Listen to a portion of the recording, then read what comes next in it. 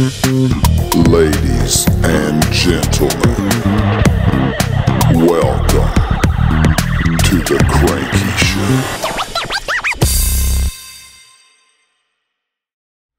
Hey everybody, Dr. Cranky here in the laboratory. Uh, we are making uh, progress on this beast and uh, we are really, really loving it. Um, last night I had an idea um, because I did remember that I had this very bright red because part of the problem uh, with using red is that it, um, you know, uh, mo most of them either darken or they're, you know, dark red and um, so I remember that I had this, um, and it's actually not a uh, not a color, it's not a uh, paint, it's a primer, and so I thought, okay, not a problem. So I went ahead actually and salted the body. Uh, last time you saw it, it was um, kind of uh, brassy looking, and um, so I, you know, I dusted some salt along the way, and then I sprayed uh, the primer over that. Uh, we still have to come in and provide uh, some chipping. I realize that when you're out in space, uh, things do hit you like birds and stuff, you know, and uh, eagles uh, try to grab you and take you to their babies' nests and, and, and stuff like that. So it does provide some wear and tear. And um, so I uh, I got this thing in red in part because I really wanted uh, the look of all the metallizers and then this red paint. Uh, and you begin to see what we are uh, doing to it all the way around. We've got this uh, fuel tank type of thing. Uh, probably that's where the um, you know the um, the the, the magneto ramificanola canola oil um, um, uh, goes and fuels these things.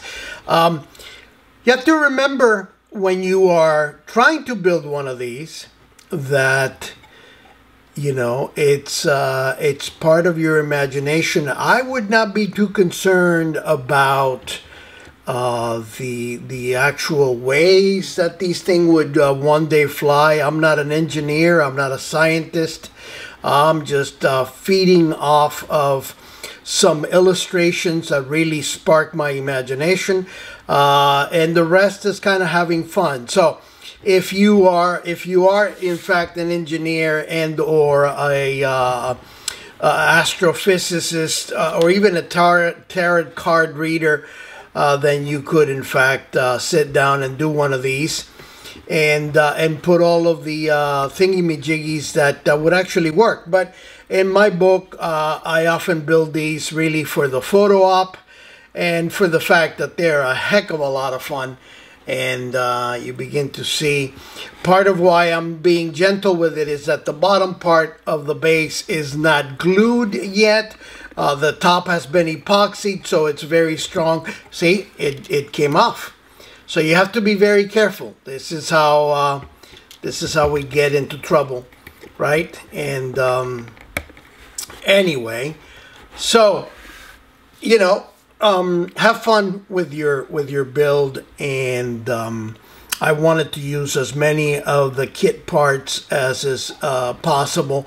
Uh, this one would have looked great with some sort of uh, cover back there, but uh, on the wheel wells, but I kind of like I, I kind of like it. Uh, it it does um, you know work with the idea that it is a ro roadster. It's an everyday type of uh, space cruising vehicle that you could take your sweetheart to. Uh, uh, to to the dollar store and buy her some new flip flops and all of that good stuff. So um, I'm, I'm loving it and I'm enjoying it and I do have some parts left this is gonna have the um, the exhaust uh, placed in there and then some hoses are gonna come out and inject onto the front. So we'll that's uh, more epoxy work of course.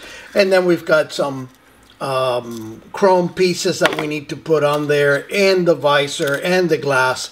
So we we you know we should be wrapping it up but we also want to provide a little bit of uh, detailing to the body in terms of uh, some chipping and uh, little little chrome accents here and there Um, and then, of course, uh, we are probably going to run wires from uh, the uh, firewall uh, to the radiator on each side. So um, we're liking it. And then the hoses and all of that. So, and it's going to have, I think it's going to have a few more hoses uh, down below. But uh, we really like it. I, I think it stands out. Anyway, my friends, stay tuned in for more Cranky Show coming right up.